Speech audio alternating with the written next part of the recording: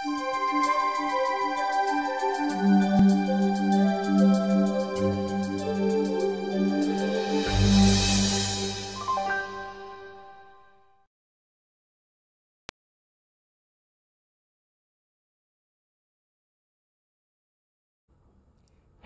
and welcome to our first lecture of this ultrasound physics course.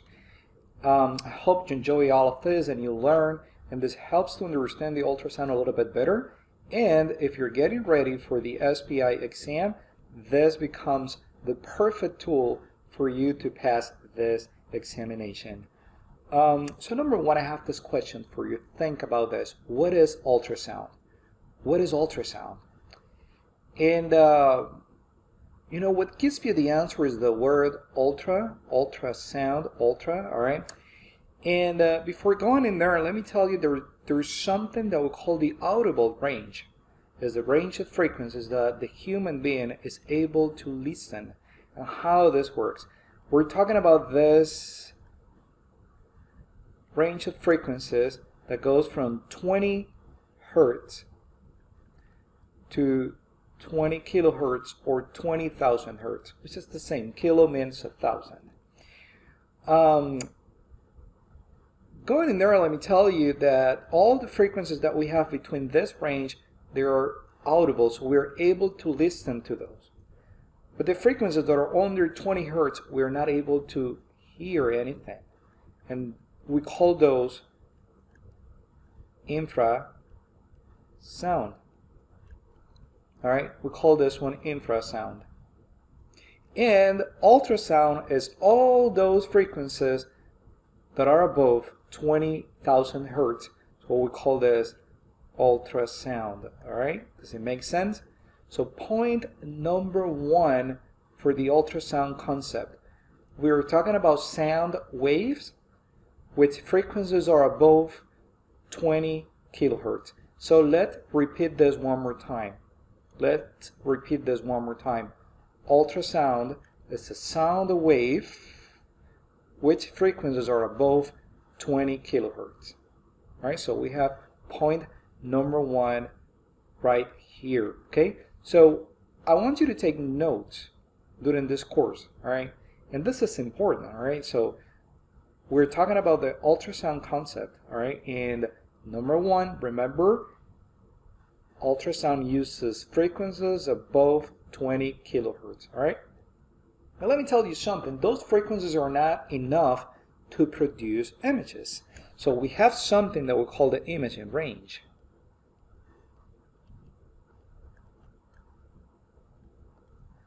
And we are talking about higher frequencies in here. For example, the imaging range can go from 2 to 20 megahertz. And this is not something that is fixed. We have probes in the market, we have transducers in the market that they can go above 20 megahertz, all right? They can go above 20 megahertz. But as a general rule, so we're talking about from 2 million hertz, mega means million, all right? From 2 million hertz to 20 million hertz, and that's what you know, most of the systems in the market use in order to produce pictures. Now the question is, why don't, why, you know, using different frequencies and not a fixed one? Why do we use different frequencies and not a fixed one? And the reason is because there is a principle that says the following. If we have high frequency, congratulations. Let me tell you something. You have a better resolution. Perfect and beautiful resolution, all right? But then we have a problem in here. We have a trade-off. And the trade-off is that we have less penetration.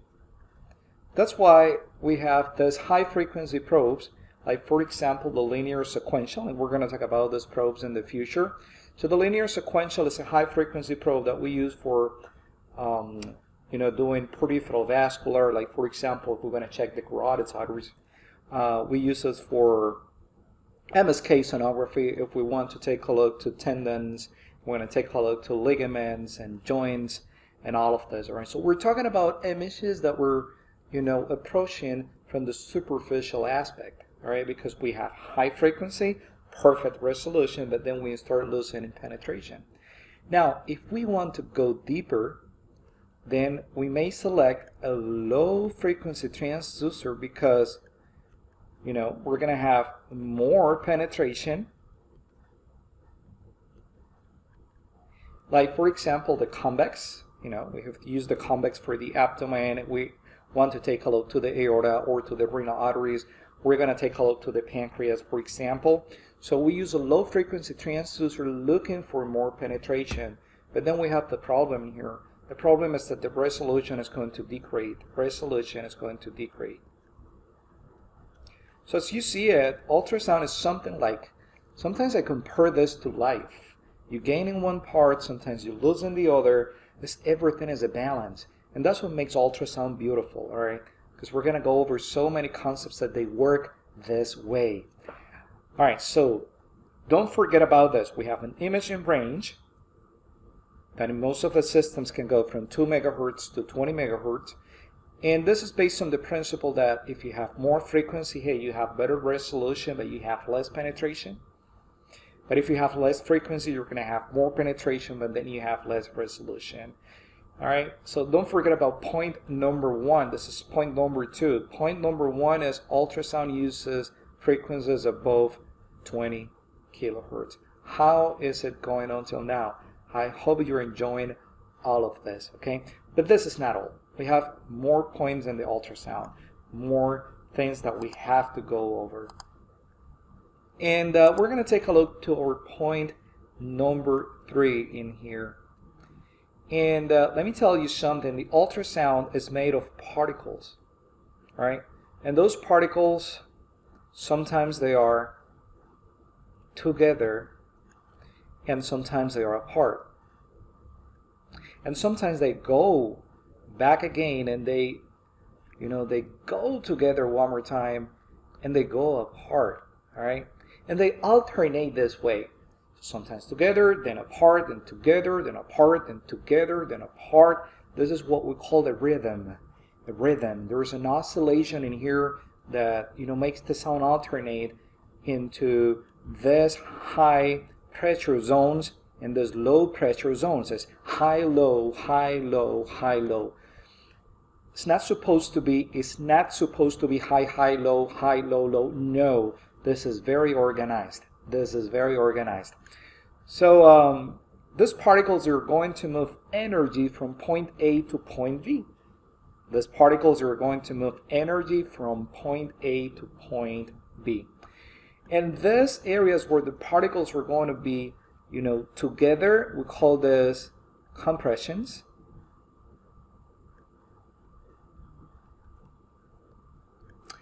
All right, and the areas or the zones where the particles are going to be apart, we call this rarefactions. Rarefactions, okay?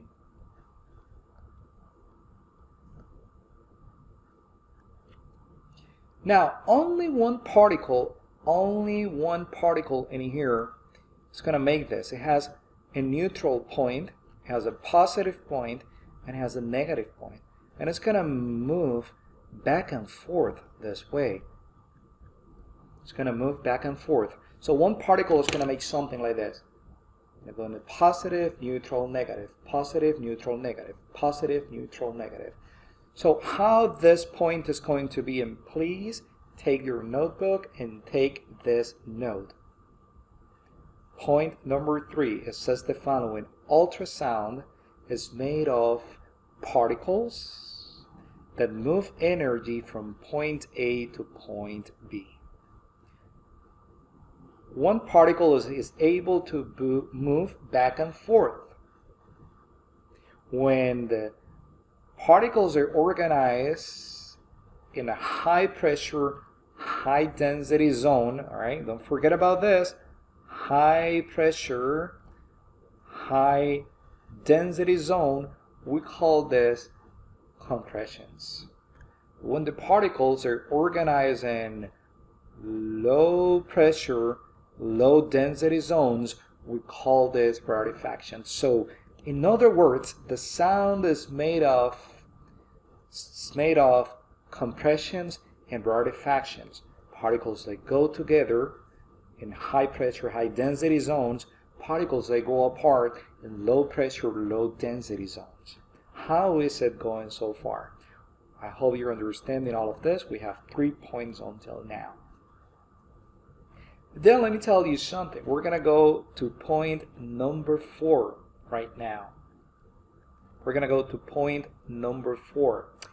And it says the following. In nature, we have longitudinal and transverse waves. Longitudinal and transverse waves. The difference is like in a longitudinal wave, the particles, they move parallel to the main axis of the wave.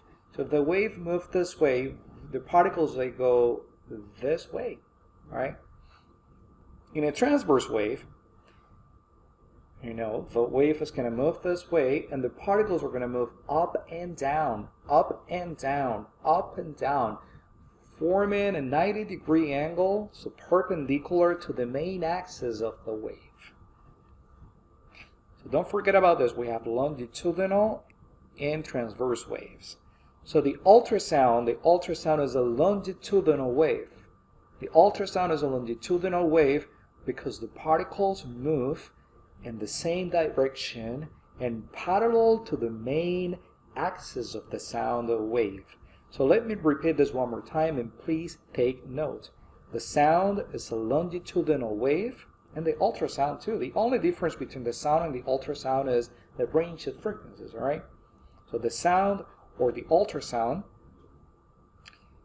is a longitudinal wave because those particles are going to move parallel to the main axis of the wave, all right?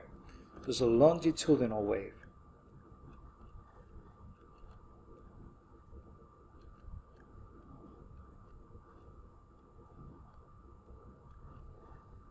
And number five. What do we have for number five? Um, in nature, we have mechanical waves and we have electromagnetic waves, all right? mechanical versus electromagnetic. The difference, you know, they have to have many differences in here, but we're going to focus on the ability of this waves to go through the vacuum. So we call the vacuum to something that is there is empty, that there that there's no any particle in there, you know, vacuum, empty. Think about that. So the electromagnetic waves, they can go through this vacuum, they can go through, right? but the sound needs a medium to go through. It could be air, it could be bone, it could be uh, muscle, it could be water, but the sound needs a medium to go through, all right? So therefore, the sound cannot travel through the vacuum. Let me repeat this one more time. The sound cannot travel through the vacuum, all right? So that's why the sound is a mechanical wave. So let me repeat this one more time. Let me repeat this one more time. And for today, we're just going to go over this lecture, this intro lecture in here. All right. It's going to be short so you understand the concept. And then later, we're going to start putting more information into this course because it's going to it's going to become more complex over time. But if you understand this, we are fine and I'm going to feel happy that you are you know getting all of this information. So number one, ultrasound. Ultrasound uses frequencies above 20 kilohertz or 20,000 hertz. It's not in the audible range, so we cannot hear it. The imaging range, most of the systems, it can change from system to system from 2 megahertz to 20 megahertz. So we need more frequency in order to produce pictures. But don't forget about this rule that says the following. All right? more frequency, better resolution, congratulations, but less penetration. Less frequency, well, resolution is going to be degraded, but then you're going to have more penetration. This is a very important principle for you to understand what probe are you going to use when you're scanning. It makes sense. Okay, so number three, we have this. The sound is made of compressions and rarefactions. Compressions are high pressure, high density zones. Rarefactions are low pressure, low density zones. All right.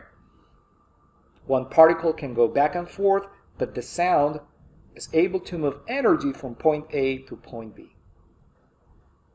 Number four, the sound is a longitudinal wave because the particles move parallel to the main axis of the wave.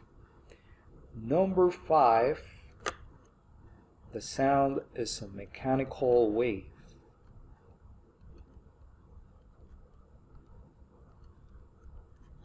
Because it needs a medium to go through.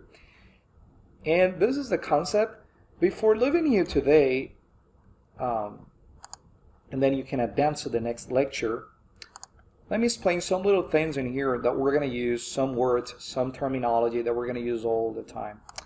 So we're going to use the word directly related all the time, or this expression, directly related.